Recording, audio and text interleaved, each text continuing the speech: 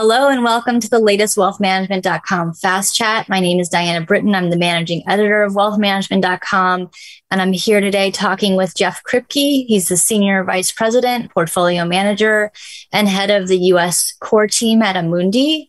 And we're going to be talking about inflation and the markets. Jeff, thanks so much for being here. Thank you for having me. It's a pleasure. So, Jeff, can you start with, uh, you know, how have equities historically fared among, you know, rising inflation? Sure, that's a great question in today's market. Equities as an asset class are very volatile, as you know. It goes up and down in economic news. And inflation is certainly a very important part of the economic news as it impacts businesses as well as consumers. Generally, in a modest rising inflationary environment is very positive for equities companies are able to raise prices, consumers are able to buy goods at a reasonable price, and the economy grows in a steady fashion. However, when inflation expectations and inflationary pressures rise dramatically, such as the current market, it can create a very volatile environment. And equities tend to trend down. So it's important to pick the right stocks allocated in the right sectors with the right investment vehicle. That's great. I mean, so, you know, as you know, we're currently in, uh, you know, facing a lot of uncertainties in the market right now. What is your outlook and how are you positioning your portfolio in light of those views? Sure. That's another great question. In today's volatile market, um, portfolio managers have to be uh, quick to change their assumptions on the market and the economic earnings, as well as the companies, what they're hearing from. And as we started the year, the portfolio has changed a little bit due to the increased inflation expectations and inflationary pressures that we're experiencing, not only from our monetary and fiscal stimulus coming out of the COVID depression, but also the war in Ukraine caused by the Russian invasion. And so these have caused commodity markets to skyrocket, causing input prices to manufacturers as well as a sort of resignation, as we've called it, coming out of COVID, where workers haven't come full force back into the labor market. So there's been inflationary pressures on wages for employers as well as higher input costs. Now, what we're seeing is that these inflationary pressures are starting to impact the consumer. So we're starting to see a dramatic slowdown, which is what the Fed is trying to intend as it raises interest rates. Now, at what level will the Fed go to? That's a very important point to try and figure out. And so we think that the markets will be volatile into 2024 as the Fed increases interest rates rather slowly. My preference would be a more dramatic increase and just get it over with so the markets can heal more quickly. Now, the fund, in order to deal with the rising inflationary pressures, has increased its exposure to commodities and materials. And so these are companies that are producing the commodities and materials that they're able to sell at higher prices as inputs to companies, manufacturers, as well as other service providers.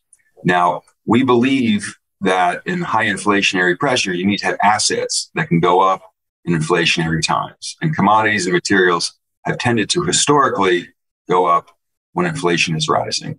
So we've made a concerted effort to increase our exposure to these sectors. And in doing so, we have taken money out of the financials and technology.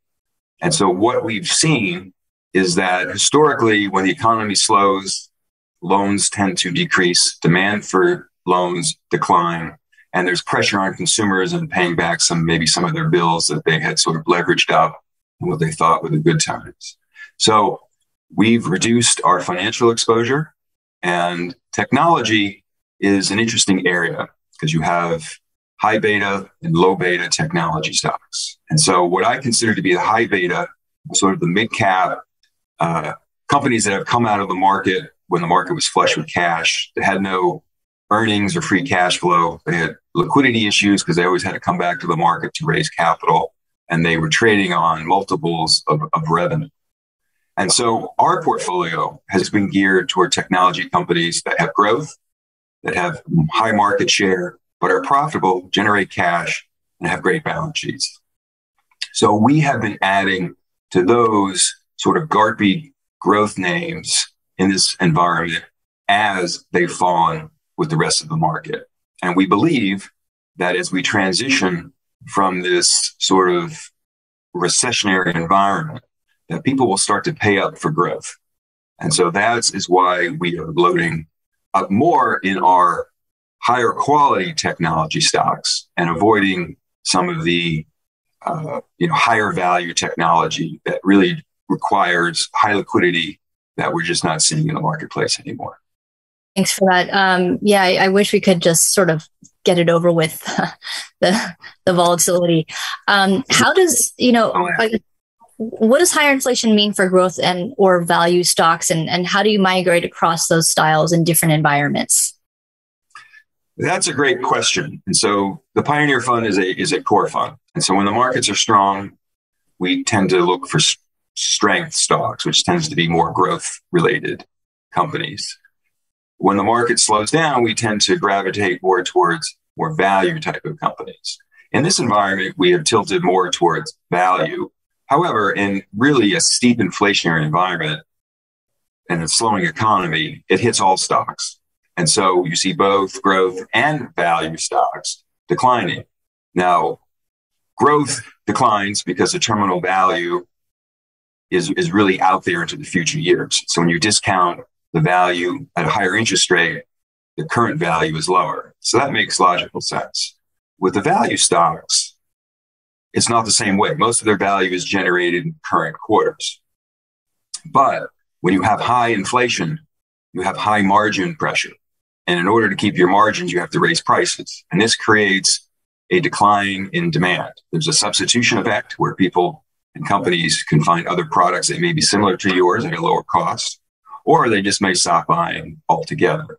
So value stocks will decline as their revenues decline, as demand declines because of the higher interest rates and the recession that we're currently in. So the portfolio really seeks to own high quality, sustainable businesses, number one and number two market share that tend to be global. And so they have the revenue, they have the expenses where they can cut, and they can take advantage of the duress that more mid-market or foreign companies that don't have the U.S. capabilities uh, will experience during this this recession or possibly depression. So we like companies that can ride through it because they generate profits and cash flow, and even maybe take advantage of the duress by buying up companies or segments of companies that they have to sell in order to, uh, you know, as, as they're not able to compete against better execution companies. Okay, great. Um, you know, I know there are there are many sustainable strategies and funds out there in the market. What makes your approach different, and and what sets your Pioneer Fund apart from others in the marketplace? Well, the Pioneer Fund is the second oldest mutual fund in the country. It was founded in 1928, and had a sort of a sustainable, socially responsible focus. It didn't invest in tobacco, gambling, and and part of that and alcohol part of that was because they were sin stocks they really didn't provide any benefit so the fund seeks to do good while doing well and we've continued that tradition of the fund of owning high quality sustainable companies well, thanks, Jeff. Those are some great insights, I think, for this uh, market environment we're in right now. Um, I'd like to thank our guest, Jeff Kripke um, from Amundi, um, for joining us. Uh, thank you so much, Jeff. Thank you. It's been a pleasure talking with you. Thank you for joining this wealthmanagement.com fast chat. We'll see you next time.